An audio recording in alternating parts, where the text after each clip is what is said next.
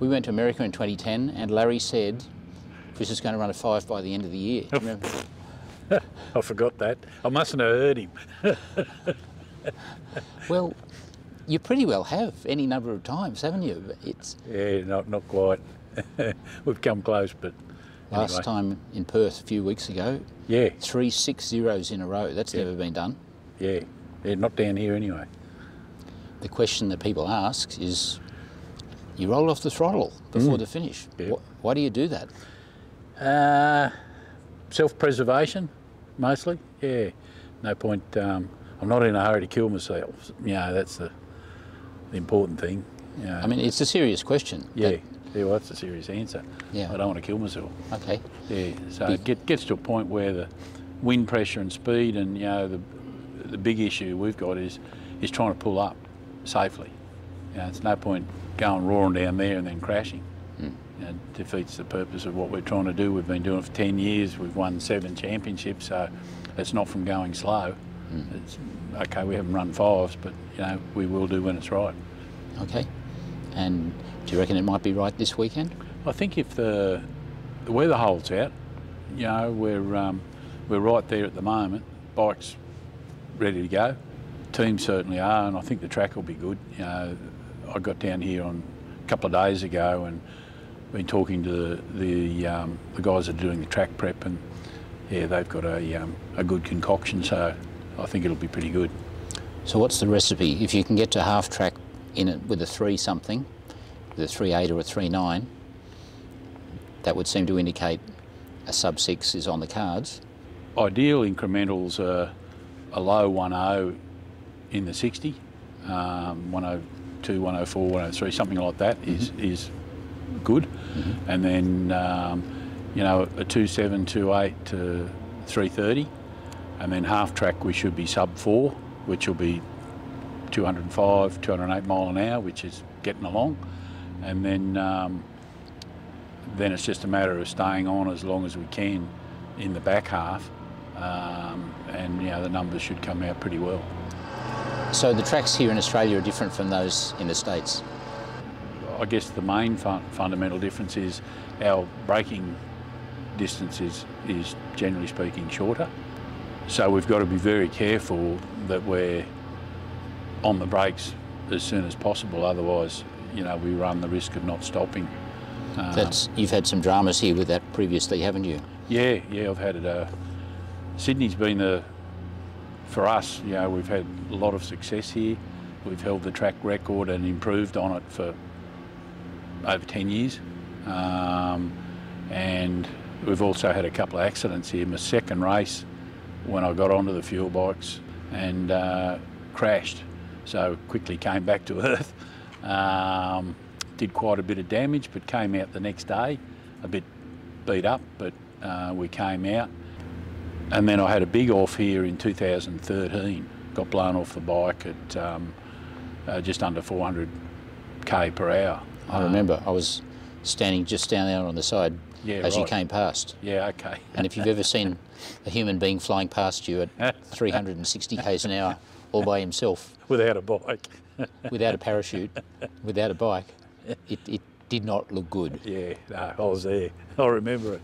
Yeah, it was interesting. But uh, anyway, that's part of it. Um, yeah, we did a lot of damage to the bike, and uh, I was in out of action, uh, pretty beat up after that. And then we went to Darwin, and I, I, got electrocuted. Um, had a plug lead come off in Darwin, and um, that put me back in intensive care at, at uh, Darwin Hospital, and 44 amps straight through the ticker. yeah, that livened me up again. And um, anyway, uh, got through that, and um, yeah, we've had a reasonably good run since then. I had an incident with the wall up in Mackay, North Queensland. We went up to do a, a uh, exhibition to raise some money for the local track and whatnot, and ended up having a um, a, uh, a confrontation with the wall and smashed my leg up um, which was my good leg actually. So now I've got two bad legs, so I actually can walk a lot more evenly than what it used to be. That's part of it, you know. Okay. You just got to try and minimise that as much as you can. All right, well, let's come back to this weekend. Perth was really good. Yep. You came off on a high because you did three really good runs, passes in a row. You didn't need to do the third one. You just did it, what the hell, Yep. we'll go down and you, it was the fastest speed of the three of them, Yeah. Yeah. if not the fastest time, but still a 6-0. Yeah. So confidence is obviously high. If the bike's running well, Yep. You run down the track, you it feels good, it feels straight, it hooks up, Yep. you get to half track. At what point do you go, I think this is the one, I'm going to stay on it another two tenths longer than I normally do? Well, the trouble is you. There's not a lot of thinking on the run, believe it or not. It's you sort of do the run before you start the bike. Um, you know, we bring the we start the bike here on this pad, um, and you've already done the run in your head because you can't think of what you're doing when you're doing it because you after half track you're moving at a football field per second. So you can't sort of think, I'm going to go over here, or I'm going to go over there, or I'm going to stay on longer, or whatever it is. So it's, I know what I'm, pretty much know what I'm going to do if all goes well before I start the bike. Um, and then it's a matter of executing what we do, It pure muscle memory by that stage? pretty much, yeah. You just can't move or think quick enough. It's a reaction thing. Uh, you know, if, if you visualise, you know, in the first 60 foot, we're doing 100, you know, 100 mile an hour in 60 feet. So, whatever you do reaction, whether you're 16 year old or, you know, 40 years old, you're not going to change direction a lot if the bike's out of shape. So, everything's got to be right. You'll you'll know once you get going whether you know you're in the right spot. You know you've got your head down, um, throttle's wide open, and you'll know. You know uh, then it's a matter of your peripheral vision um, being aware enough to know where you are on the track, because if you don't know where you are, um, yeah, you're Okay. in a whole lot of trouble. So no thinking involved, pure reflex, muscle memory, knowledge, experience comes in. There's a little bit of thinking, but it's more about trying to stop safely once you're on the run uh, than actually riding. Ri- Riding becomes a natural instinct, and I, I think I'm fortunate that my younger life was on dirt bikes, and I spent a lot of time out of shape, so it, it sort of doesn't worry you so much if the bike's a bit out of shape um, because you're sort of used to that. Strikes me your bike's always out of shape. Yeah, well. It's got one wheel in the air and the back wheel's doing whatever it wants and you're just along for the ride. Yeah, well, yeah, it's, it might look like that, but there is some controlled measure in in what we're doing or what we're trying to do as best we can. You know, you steer through your feet, and you know you've got over 1500 horsepower um, that you're sitting on. So a lot of it's not right. You know, a lot of it about the bike is all wrong, but that's what fuel bikes are. If it was easy, everybody'd be doing it. Well, there's that too. Yeah, yeah. That's why it's You know, why many- can't you just uh, just stay on the throttle a bit longer, mate? Easy. Just don't don't roll off it. Just stay on it. You're only Yeah. doing 240 miles an hour with a with a sand trap coming up at you. Yeah, you get plenty of that. Even my wife says that. You know, just stay on longer. You know, get it out of the way and get it done. But you know, the flip side of that is we've been doing it for 10 years, and you know we've we've got a lot of records, a lot of national records. We've got every track record in Australia.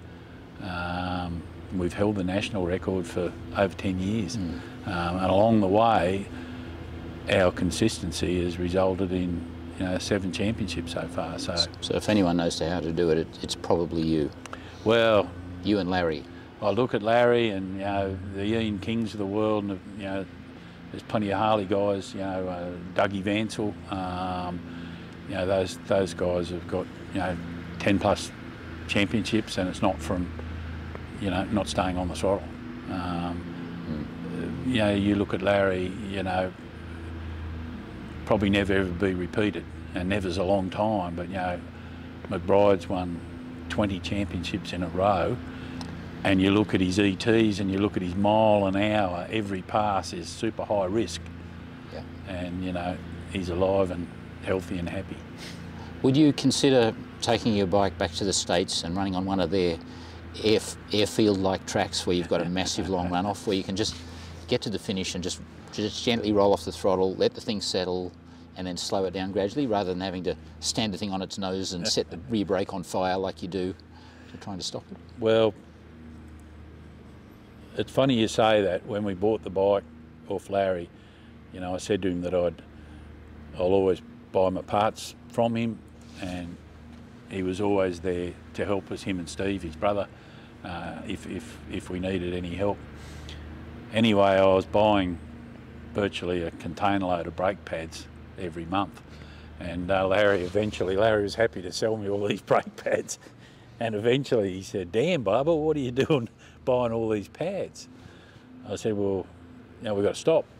We're having trouble stopping, and we were warping discs every pass, going through pads and having to bleed between rounds, the brakes, and." Um, I think it was then he realised, you know, how short our runoffs are because we were shutting off very early. They were not as good a brakes as we've got now. Um, and as you say, you know, in the States, you know, Larry's biggest fear is getting to the other end without having to get a tow because the runoffs, you know, so, so long. Mm. So um, anyway, with Larry's help, we went, we tried, actually before we went to Larry, we tried a few different uh, brake combinations. Um, some years ago, you know, titanium rotors, um, we even went carbon carbon probably six or seven years ago.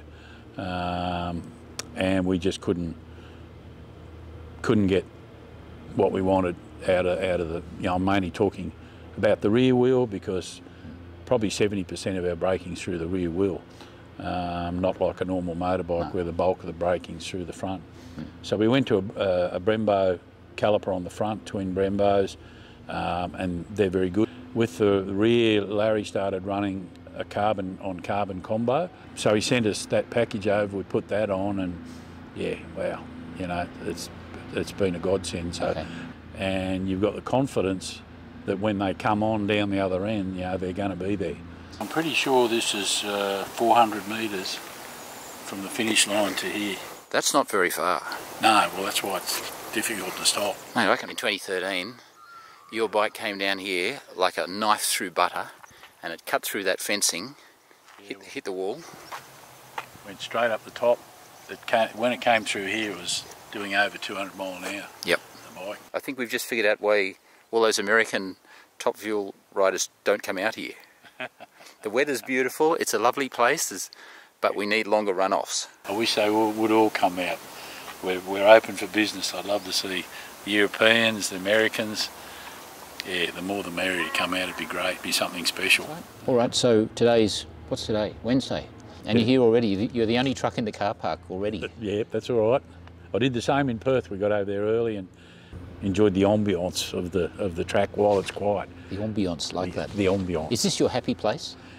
Uh, I've got a few happy places, but I enjoy coming here. Um, not only on race day and qualifying, but I enjoy talking to the other racers before it when no one's stressed because come race day, a lot of guys get pretty wound up, so you can't really mm. socialise with them. And then uh, after it's over, everyone's madly packing up to get home. Mm. So it's another race. So I don't mind getting here a little earlier and and just you know enjoying the, the atmosphere it'll be very hard for anyone to catch you in the championship again. Um, you're, you're well in front, and yep. it'll only take a, a good run at, at any of the remaining three rounds for you to really wrap that up, I think. Yeah, well, we'll see. Scary. They're all scary. Um, yeah, the, the go bit's scary and the, the stop bit's scary too. Um, about the only time it's relaxing is when we've put it in the trailer and shut the back door um, then it's not scary. Would you like another bottle of Harden Up Princess? no, I'm pretty right. You've had a few? Yeah, I've had a few, yeah. You're a charming fellow, Chris, and all I can say is we all wish you well. Thank you. On the Cycle Drag channel with, with Jack as well. Yeah. I'm sure everyone watching in the States is going, yep. run a five, mate. we have yeah. got our fingers crossed for you. We're trying, trust me, we're trying to do the best we can. And the team, you know, team's got the bike on a on a cord at the moment. So you know, hats off to the guys. They do a lot of work away from the track. Uh, all our supporters and sponsors and yeah, the, we're excited to be where we are, and you know we'll be doing everything we can to run well on the weekend. For something that runs on nitro, it's reliable, you know, um, and you know it's as safe as it can be for what it is. So the confidence on the bike, um, yeah, you won't get any better than the package we've got. Yeah. So can I just say, on behalf of all the Cycle Drag viewers, Jack, Jack. and all the Americans and everyone around the world watching you, Yep. uh, May the 4th, because today's May the 4th, May the 4th be with you, Yes. and particularly on Friday and Saturday. Okay. Let's hope it is, and appreciate all the kind wishes. I'm predicting a 591. Good on you.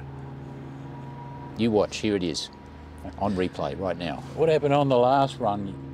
You, told me what to do in Perth, and Oh yeah, I told you to just roll through the lights and, and wave at the crowd, and, and, and instead you ran 602. there you go. So you don't follow my instructions no, at all? Not, not, not at all. Fire!